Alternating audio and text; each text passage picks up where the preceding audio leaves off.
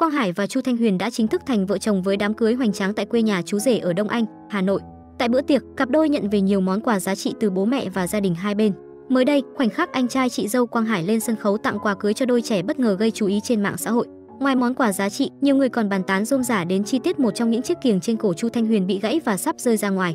Có ai để ý cái vòng cổ bị gãy giống tôi không? Nhiều vàng đến mức gãy luôn mà, mình bị gãy cả vòng cổ của mẹ ruột lẫn mẹ chồng luôn mà vẫn được hai mẹ chăm sóc. Chồng cưng như trứng mỏng, nghe bảo gãy kiềng không tốt nhưng tôi cũng bị nè, lấy nhau 5 năm có nếp có tẻ, gia đình hạnh phúc là một số bình luận từ cư dân mạng.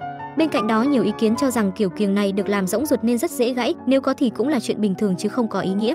Cũng trong khoảnh khắc này, mối quan hệ của Chu Thanh Huyền và chị dâu Hoài Linh được hé lộ. Không chỉ tự tay đeo vàng cưới, Hoài Linh còn chỉnh lại chiếc kiềng bị gãy cho Thanh Huyền rồi chị em nắm tay cười rạng rỡ ngay trên sân khấu đám cưới. Màn xử lý bình tĩnh của tất cả những nhân vật chính trong màn trao và nhận vàng này nhanh chóng lọt vào tầm quan sát của hội ăn cưới online và nhận được nhiều lời khen.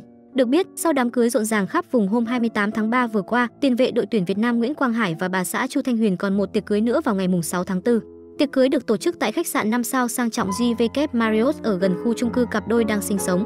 Bữa tiệc này được tổ chức với quy mô nhỏ hơn đám cưới ở quê, khách mời sẽ gồm người thân, bạn bè thân thiết cùng đối tác và mối quan hệ xã giao của cô dâu chú rể. Mới đây, cư dân mạng đã chia sẻ hình ảnh về món quà mà Quang Hải và Chu Thanh Huyền dự kiến sẽ dành tặng cho khách mời dự đám cưới tại khách sạn 5 sao. Đó là gói hạt dinh dưỡng tổng hợp bổ dưỡng, được đựng trong túi giấy xinh xắn có đính kèm tấm thiệp có lời cảm ơn mà cô dâu chú rể gửi tới quan khách. Trên thiệp ghi rõ tên Quang Hải và Chu Thanh Huyền, món quà được lựa chọn cũng thể hiện sự quan tâm chu đáo mà cặp đôi dành cho những người thân thiết của mình. Ngoài ra, một phần thực đơn cỗ cưới mà Quang Hải và Chu Thanh Huyền dùng để tiếp đón khách mời ở khách sạn 5 sao cũng đã được hé lộ trước đó.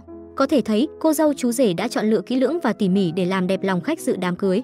Ở đám cưới hôm 28 tháng 3 vừa qua, Quang Hải và Chu Thanh Huyền đã tổ chức phần lớn các nghi thức của một lễ vu quy thông thường. Có phần đón dâu, họ hàng đôi bên phát biểu, cô dâu chú rể cắt bánh kem, bố mẹ đôi bên nâng ly chúc mừng gắn kết tình thông gia.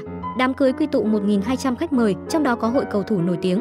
Tiệc cưới tại khách sạn 5 sao tới đây chắc chắn cũng sẽ không thể thiếu những gương mặt đình đám của đội tuyển Việt Nam và các sao showbiz. Hiện tại, vừa làm đám cưới xong đã vội xa nhà đi thi đấu, Quang Hải không những không bị vợ giận mà Chu Thanh Huyền còn động viên anh bằng lời cổ vũ đỉnh lắm anh dai. Trước khi lên đường, Hải con còn không quên hôn tạm biệt vợ, lần đầu công khai tình tứ với nàng trên livestream hàng ngàn người xem.